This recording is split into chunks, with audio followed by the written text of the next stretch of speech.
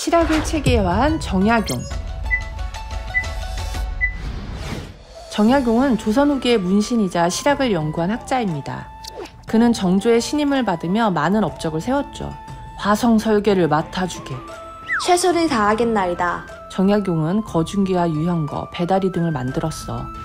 하지만 정조가 그를 아낄수록 시기하는 자들도 생겨났습니다. 저자가 전하의 신임을 독차지하는군.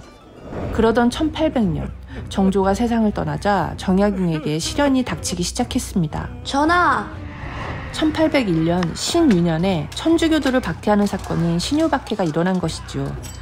천주교도들을 잡아들여라! 왜 천주교도를 박해했어요? 제사를 거부하고 평등 사상을 강조하는 천주교가 조선의 유교 질서를 해친다고 생각했거든. 이때 정약용은 유배를 가게 되었습니다. 젊은 시절 천주교에 관심을 가졌던 일이 빌미가 되었던 것이죠. 아우, 유배 가서도 몸을 잘 살피게. 저는 강진으로 갑니다.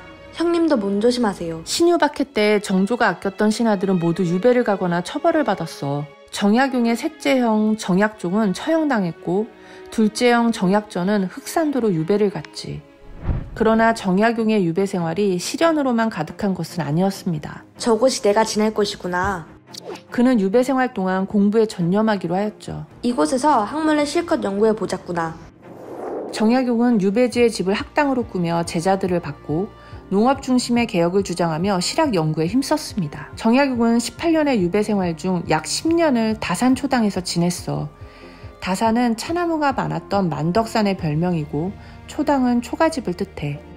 또한 경세유표, 목민심서 등 500여 권이 넘는 책을 남기며 실학을 체계적으로 정리하였죠. 정약용은 1818년 유배 생활이 끝난 뒤에도 학문 연구를 계속했어. 이처럼 정약용이 새로운 학문과 기술에 관심을 가지며 끊임없이 연구한 것은 백성이 더 나은 세상에서 살기 위한 마음에서 비롯된 것이었답니다. 귀양살이에 좌절하지 않고 한평생 나라를 위해 연구에 몰두한 모습이 완전 멋지다. 정말 대단해요. 제가 느낀 점은 귀양에 가서도 학당을 꾸미고 제자들을 가르치고 나라를 위해 도움이 되는 책들을 만드셨다는 게 정말 대단하신 분이라는 생각이 들어요. 조선 후기의 대표적인 실학자, 조선의 제22대 왕 정조의 신하로 화성 설계, 거중기 발명 등 많은 업적을 세움, 1801년 발생한 신유박해 때 강진으로 유배를 가게 됨, 유배 기간 동안 학문에 몰두하여 경세유표, 목민심서 등 수많은 책을 남김, 농업 중심의 개혁을 주장하면서 실학을 집대성함. 천재가 되자 되자 천재가 되자 되자